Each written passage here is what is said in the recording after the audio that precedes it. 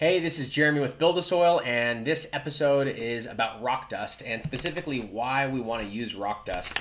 I've got some notes here just so I don't forget all of the different topics, but the purpose of this video um, is to walk you through the process of researching rock dust uh, from the perspective of a brand new gardener. And what I mean by that is if you get into organic farming, organic gardening, uh, somebody's going to mention rock dust to you. And it might be as part of a compost tea, it might be um, under a brand name like Azomite, or it might be because somebody sent you to a website like remineralize.org. Um, and I'm going to share with you a number of different resources so you can do your own research. And I'm going to bring up the topics that would be controversial or that would be interesting to someone that um, is wanting to further understand rock dust. And in that way, I hope to allow you to become dependent, um, I'm sorry, independent um, with your own research as opposed to dependent on my answer. Um, and then when someone asks you why you use rock dust, you can formulate your own opinion because some of this, um, even though we have some science, is going to be left up to your own gut feeling and your intuition. And um, oftentimes, when we formulated a decision in our mind, uh, we want to make sure that we've done the research. And then in the future, when we question that, it saves time to not have to constantly revisit every single one of these reasons. and I also want to make sure that just because we've decided on something here at Build a Soil, uh, that doesn't mean that you shouldn't do the research on your own so you can arrive at the same conclusion we did or maybe a different one. And then I think you'll value our process a lot more. So, why rock dust? Well, the basic reasons I've got six reasons here.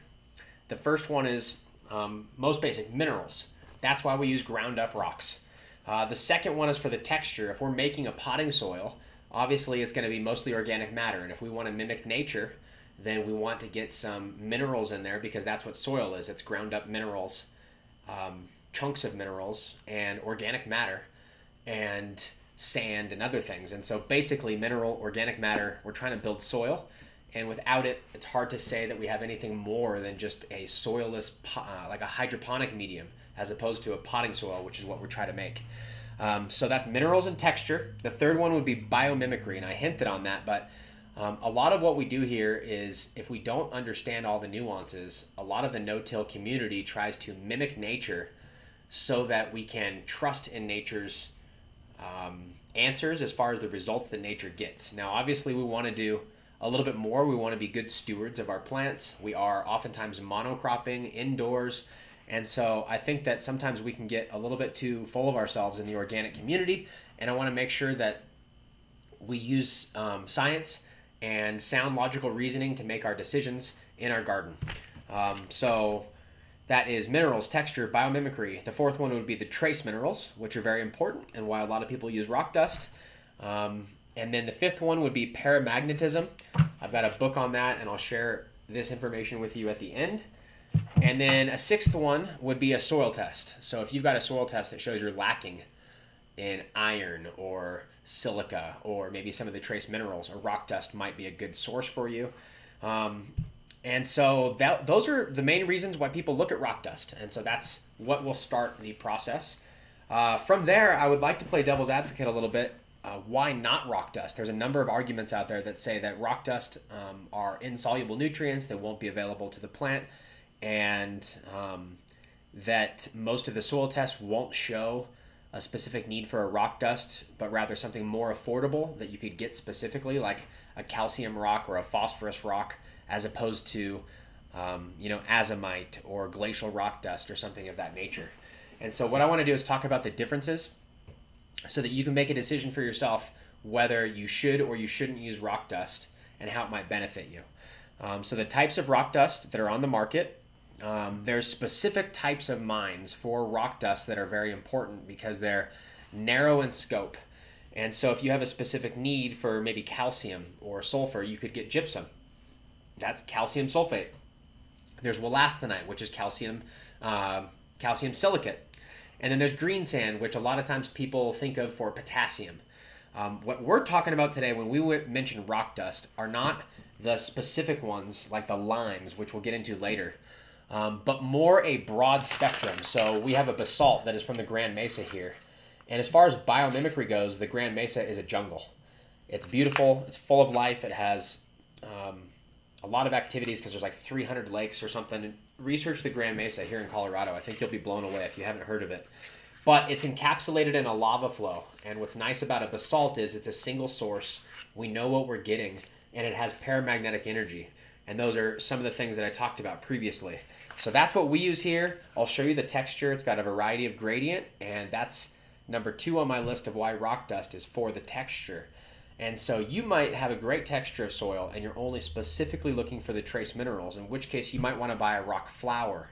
And you can go to Rock Dust Local, Thom Vanacore, or you can get uh, something from Tom at the Build a Soil website. We have his basalt that I really like. That's a little finer, where this is a gradient more for building soil. Um, and then the other types of rock dust, the most popular, you've probably heard of azomite. If you hadn't, it's a made up name and it supposedly has all the minerals from A to Z, and that's why it's called azomite. And uh, the glacial rock dust was the most recommended for a long time, and a lot of that came from remineralize.org. And one of the um, kind of godfather, so to speak, of remineralizing is Hamaker. I'm not sure if I'm saying his name right. Um, but the new uh, primer on rock dust over at remineralize.org that's based on those teachings mentions basalt. And I, I was talking to Tom about this years ago, and it looks like he got that updated. And I'll share that with you today. So, let's get back to topic types of rock dust. I mentioned there's specific dusts. We're not talking about those. Those are like limes, silicates, things like that, um, or phosphorus. What we're talking about is broad spectrum rock dust, and they're usually alumina silicates like iron, aluminum, and silica, and then locked in that matrix matrix are all the trace minerals. And as far as finding quality rock dust, I'll give you more information on that later. Um, some proponents say you should find the closest source to you, and a lot of times that's going to be a glacial rock dust um, or a local quarry of a specific broad spectrum mineral type rock dust. And then uh, some people say that instead of using just a local quarry, you should get something that's already been tested and proven so you know you're getting a good product. Um, and there's lots of schools of thought there, and I'll get into that paper next. But I just wanted to go over the popular types. So azomite, glacial rock dust, and basalt. And we choose basalt. We think it's the best. Um, I'll get into that now. So in the rock dust primer, back to basics, which will be at the in the footnotes here, you can get this um, over at remineralize.org by putting your email address in there. Um, Thom Vanacore from Rock Dust Local, uh, very smart person. He talks about some of the differences, and so on here it talks about John Hamaker promoted the use of glacial and alluvial rock dust sediments for remineralization. This choice is based on his objective of emulating glacial forces in revitalizing the planet through remineralization. So if you think of the glaciers dragging minerals and uh, um, causing this grinding and weathering of the rocks, weathering is how we the rock dust becomes available. And so part of buying a rock that is unweathered and then crushing it and then putting in soil is so that we can harness the material that will now be weathered in our own container. And I'll get more into the biology side of that and weathering, but um, let's go on on this. So he recommended uh, the glacial and alluvial rock dust, mainly glacial rock dust. okay, so however, volcanic geologic types such as the basalts and complex metamorphic and sedimentary hard rocks and clays have been found to serve as well as the best regional glacial and alluvial sands and gravels. Quality of all rock dust materials should be quantified by purity, geochemical analysis, mineralogy, and particle size. Glacial sediments often contain a higher percentage of hard minerals such as quartzite. So the glacial often has a higher percentage of hard minerals. As the glacial and alluvial sediments are transported from their original location over eons, many of the softer minerals weather away. That's what I talked about with weathering, leaving a greater proportion of the harder, less nutritive minerals intact. Now, the unweathered uh, magmas, such as basalt and other hard rock sediments derived from regional volcanism or volcanism, ancient oceans, lagoons, or inland bogs often retain the rich mineral diversity and nutritive properties. So seen in this light, both the single broad elemental spectrum hard rock or clay geology, as well as the higher value glacial alluvial sediments can serve of Hamaker's objective of emulating natural forces to regenerate and revitalize the earth through remineralization. So that's what we're talking about when we discuss rock dust. And if you didn't catch that argument in there, basically what was happening is in the past, glacial rock dust was recommended. Going forward, basalt or these um, volcanic rocks, single broad elemental spectrum, are going to be a better bang for the buck because we know better what we're getting. And it's a single source instead of multiple sources as drugged by a glacier. So, um, so much more information on here. Really a great report. I'll try to include it here, or at least the location of where you can download this. Um, and we carry some of his products on our website, which is why I really like talking about um, Tom. If you get into researching rock dust, you're going to find Thom Vanacore at Rock Dust Local. All right, so next section, how to use it, how much, and all that. So now we know why. We know it's for minerals, trace minerals. We know there's different types of rock dust that are out there. Um, as far as how to use it, there's a couple of questions. How to apply it would be one. But then what you're going to find is that um, if you research rock dust, some people say that it, doesn't work. And a lot of it is based on the quality of rock dust, the weathering, and biology. And so if we're going to be mimicking, mimicking a, um, a really active soil, like we do at Build a Soil when we make our potting soil, we are including a lot of the things that nature would because most of what, um, when people get really into gardening, they talk about energy. And it seems to be a common thing that paramagnetic energy, um, biodynamic, uh, speaking about the energy there.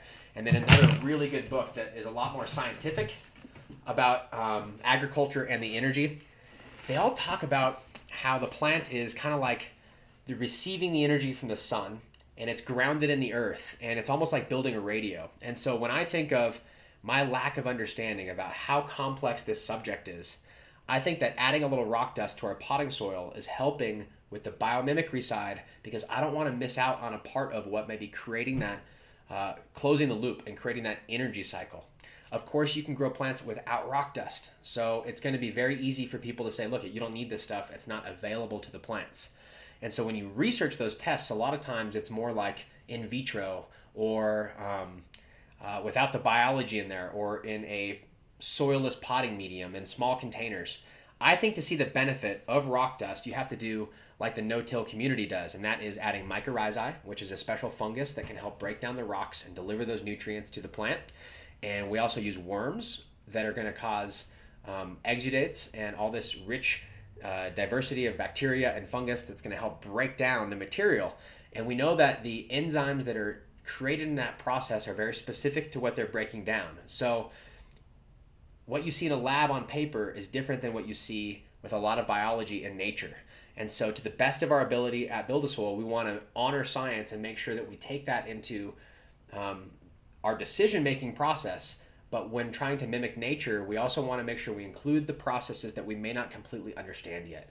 And that's where rock dust comes in. And so, on the how much side, what we've noticed from soil testing is that if we were to use azomite in a high amount, we would see too much available aluminum, and that's why we don't recommend it. Small amounts, diversity, totally fine. We have a basalt product that uh, we often recommend at anywhere from, say, 10 to 50 pounds for a cubic yard of soil. And a lot of times that works out from like a quarter cup all the way up to one or two cups per cubic foot of soil.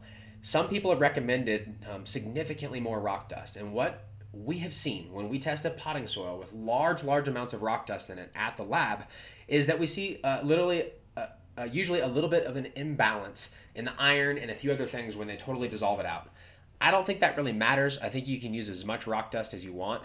Um, but in an effort to balance at the lab and create something that is a good chemical foundation for the biology then to work on, I would prefer to just use known amounts of rock dust that most people are using in the garden, and that's anywhere from a quarter up to maybe two cups per cubic foot. Um, at home, you can mix a little more into your potting soil and do some experiments for yourself.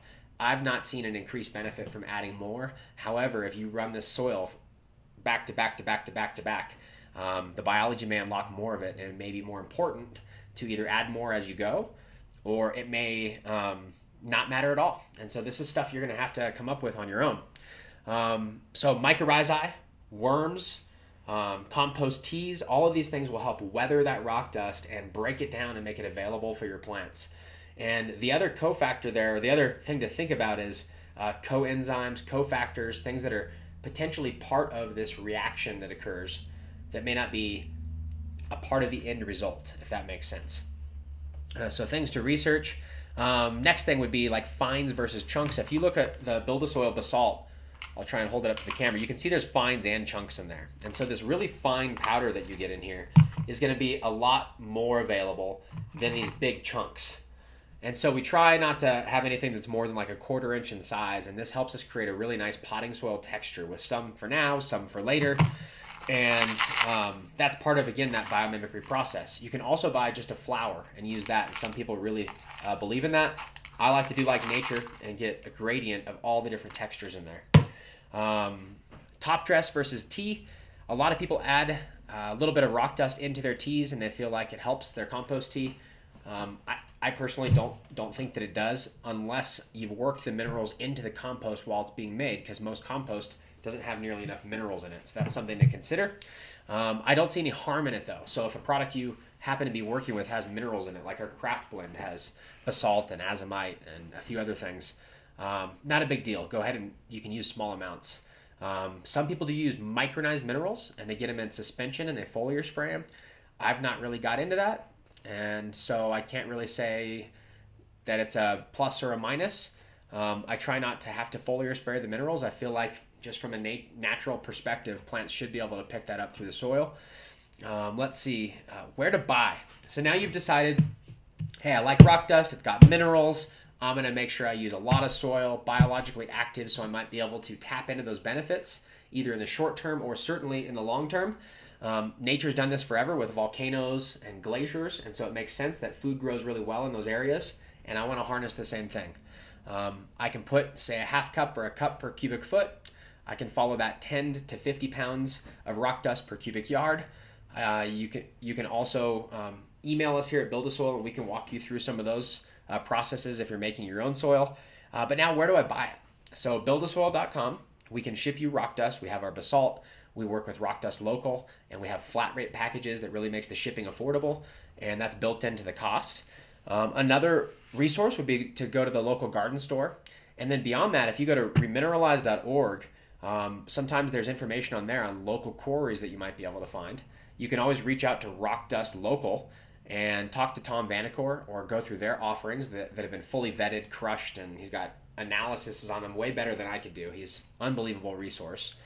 Um, or what you can do is also uh, go to, for instance, over here they grind gravel, and I've used that. I've sent it to the lab. It's a decent material. It's a glacial rock dust, and so you could go to like the local mine and find out where they're crushing gravel and ask them about where they're getting this, what type of material it is, and I bet you you could get it for free for your garden. And so that's another consideration. Um, again, do you really need it? If you live in Hawaii, you might not want to buy volcanic rock dust. I mean, your your backyard is probably full of it. If you're making a potting soil from scratch and you want to mimic nature, it might be advantageous for you to buy some. If you've got a raised garden bed and your soil is naturally sandy and devoid of minerals, and you're trying to build a potting soil bed on top of that, adding rock dust would probably be really great. Um, you know, some of the people that live on the Grand Mesa out here, they already have this basalt in their backyard, so there's not a, not a reason for them to do that. So I will say rock dust is great, but you don't always need it. We use it in our potting soil because we believe that it has uh, paramagnetic energy. We believe that it creates a really good texture, is cost effective, and um, when we have the worms and the mycorrhizae in there, it's very, very likely that we're actually accessing those nutrients and those trace minerals, and it's making a difference in the plant growth. So if you've got more questions, you can email them to support at buildasoil.com. You can check out our Facebook or our Instagram. And I'm going to put this video up on Vimeo, hopefully on YouTube, and then I should be linking maybe a snippet on Instagram so you guys can catch it out. If you've got questions, like I mentioned, um, email us or better yet, post them on the video and I'll try and answer them. Again, this is not a detailed post on everything rock dust. I just wanted to be a directional sign. So if you look below, there's going to be research on this book and where you can find more information about like what paramagnetism is, what a magnetic field is, diamagnetism, um, ferromagnetism, all that stuff if it's intriguing to you. Um, I also will put up the rock dust local link, the rock dust primer by Thom Vanacore from remineralize.org, and I'm going to have a free ebook called Bread from Stones, which is one of the originals that kicked off a lot of this conversation for many people. So I uh, hope that you enjoyed this and have a great day.